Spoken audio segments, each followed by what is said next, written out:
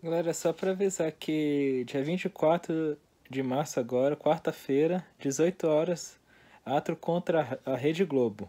Globo Lixo. Às 18 horas. Valeu, hein?